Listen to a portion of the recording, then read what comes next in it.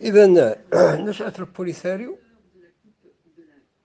كانت هبة شبابية مست تقريبا جميع مناطق تواجد الصحراء نقولها هبة شبابية مست جميع مناطق أهل الصحراء انطلاقتها كانت من المغرب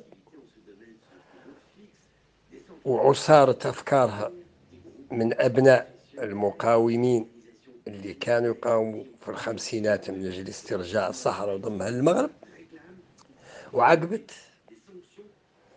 ورحب بها على مستوى الإقليم اللي هي الساقية الحمراء والجزائر كانت في إسبانيا وامتدت أفكارها وشرارتها إلى المناطق الثانية اللي متواجدين فيها الصحراويين كموريتانيا وكالجزائر.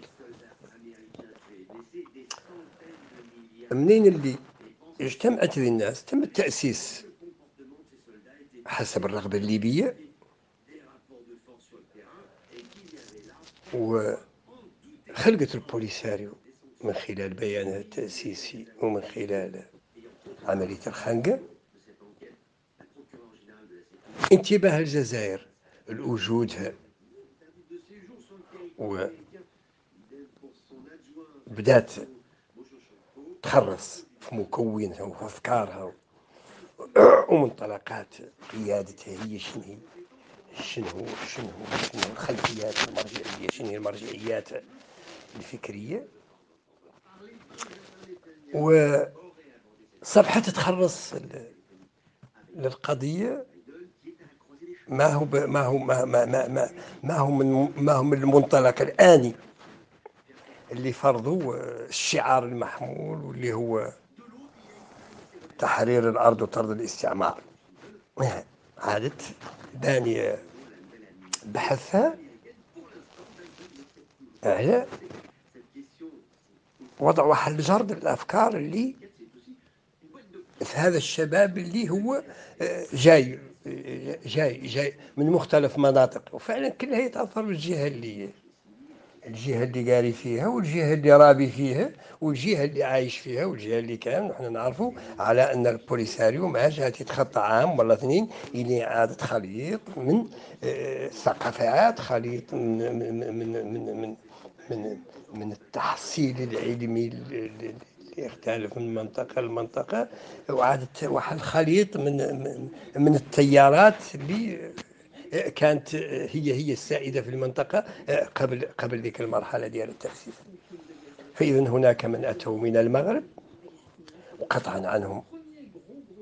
سابق يجوا الثورة كانوا منخرطين في أحزاب سياسية في منظمات طلابية. كانوا كانوا موجودين كانوا خارجين. هناك من ينتمون للجزائر.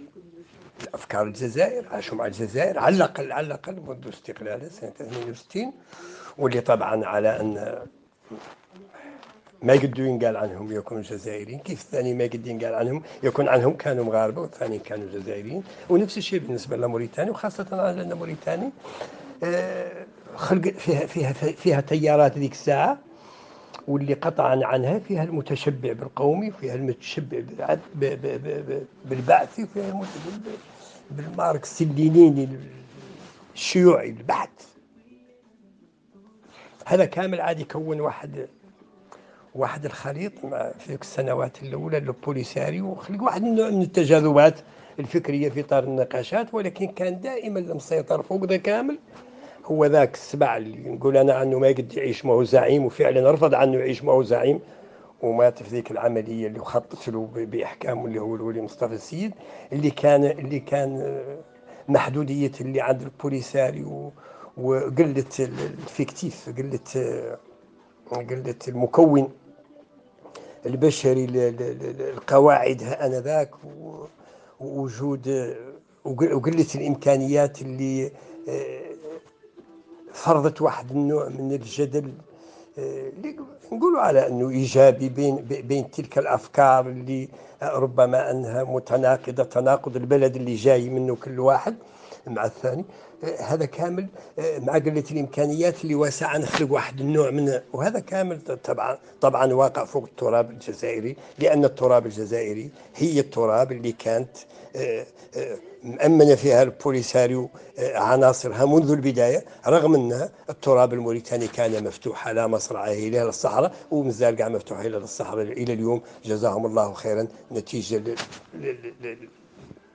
الانتماء للعنصر الواحد اللي هو عنصر البضان فإذا هذه التيارات هذه التيارات هذه التيارات الفكرية وهذه الانتماءات الانتماءات الوطنية ولا المواطنية العناصر البوليساريو وقياداتها الأولية هو هو اللي واسع على أن تخلق واحد النوع من من من من التحليل. وضع منظار المخابرات الجزائرية. ياك تضمن استمرارية ذا خاصها تتدخل خاصها تتدخل وقطع عنها دخلت. ودخلت بعناصر البوليساريو ضد عناصر البوليساريو.